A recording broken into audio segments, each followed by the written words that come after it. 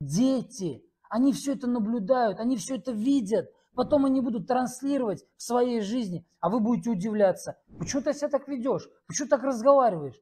Да как почему, я не пойму. Вы сами такой пример показали. Ты мог напротив них стоять с его мамой, ссориться. Я про твою жену. Такими словами мог разговаривать, что уши у ребенка завянут. Нельзя алкоголь, но не употребляй его ни в каких случаях. Сигареты вредно, убери их вообще, чтобы они не появлялись нигде. Какие-то фильмы, прослушивание той или иной музыки, бесполезное времяпровождение.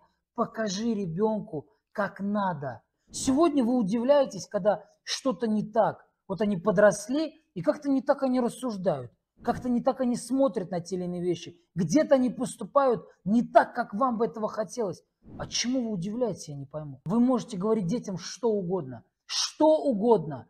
Если вы не будете подавать правильный пример, ребята, поверьте мне, все ваши попытки, они тщетны. Вы надиратели или, как это по-русски, диктаторы, вот туда-сюда. Да что это такое? Ну хватит, а, ну хватит. Сколько можно? Ребенок – это не ваша собственность. Ребенок – это не тот, кого вы приватизировали. Нет, он пришел в эту жизнь через нас, от Господа Бога. Вы, в свою очередь, как родители, должны сделать так, чтобы ему было комфортно в том или ином, чтобы он чувствовал поддержку в своих начинаниях, но ни в коем случае не диктовать. А может быть, вы хотите просто, чтобы он вашу нереализованную цель реализовал? А? Ну давайте честно, а такое сплошь и рядом – не надо, не убивайте его как личность, дайте развиваться, дайте ошибаться, дайте ему спотыкаться, протирать коленки и двигаться дальше. Вот тогда будет действительно личность, а не маменькин и папенькин сынок. А это все оттуда. Ну прекратите допускать эти страшные ошибки. Они завтра моими клиентами станут и мне подобным. Не надо. Хватит ребенку запрещать выражать свои мысли. Хватит ребенку запрещать выражать свои эмоции. Да, вы это делаете. Не плачь, прекрати, не ной и так далее. Даже не вздумайте запрещать ребенку в чем-то вам помогать. Я прекрасно знаю, это не всегда может быть конструктивно, да, это не всегда может быть что-то полезное. Он может такое натворить, что потом за него надо переделывать. Ничего страшного, потерпите, это ваш ребенок. И самое главное, самое главное, прекратите ругать его когда он допускает ошибку. Не надо. Скажите, что я рядом, мы рядом. Мы справимся, ничего страшного. Не всегда все получается. Но ты можешь на нас рассчитывать. Ребенок должен ошибаться. Ему 11 лет. У меня есть младший брат и довольно-таки хороший парень. Когда он что-то хочет, я ему сразу это не даю. Сразу хочу сказать, не потому что я вредина или мне жалко. Нет. Потому что я люблю его. Моя любовь – это не Хочешь? Давай куплю. Развлекаться? Поехали. Нет. Я даю ему четкое и ясное понимание. Если ты что-то хочешь, ты должен чего-то добиться. Ты хочешь развлекаться?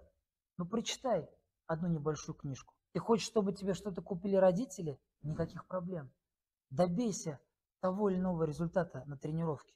Наша любовь к детям – это не значит беспрекословно бежать, покупать, дарить в ту же самую секунду. Нет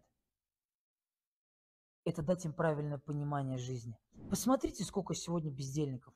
Посмотрите, сколько сегодня людей, которые не хотят ничего делать. Они на шее сидят у родителей, некоторые даже у жен. Как вы считаете, почему это?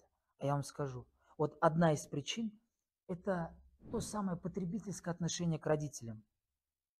Сегодня я предлагаю дать детям правильное понимание жизни, чтобы завтра, глядя на них, мы получали удовольствие от того, как они мыслят и как они проживают эту самую жизнь.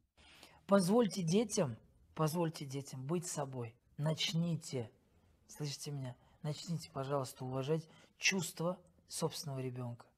А ребеночек, он когда счастлив? Когда дети счастливы? Тогда, когда они слышат вот из той комнаты, когда носятся голоса родителей, мило беседующих, когда они шутят, значит, улыбаются, смеются, когда в радости им все, когда все легко, ненавязчиво. Они никогда не выясняют отношения. ты это обязан, ты то, это твои права, это твои. Типа как кошка с собакой, каждый день. Ну сколько это может продолжаться? А ну задайте себе вопрос. Вы хотите быть счастливыми или вы хотите быть правыми в отношениях? Мало этого, дети все смотрят, записывают вот сюда. Ребенок это вот, это вот, чистый листочек, чистый. Ты в него записываешь программу. Он смотрит и думает, так, значит у нас отношения и семья это боль, это стресс, это трагедия.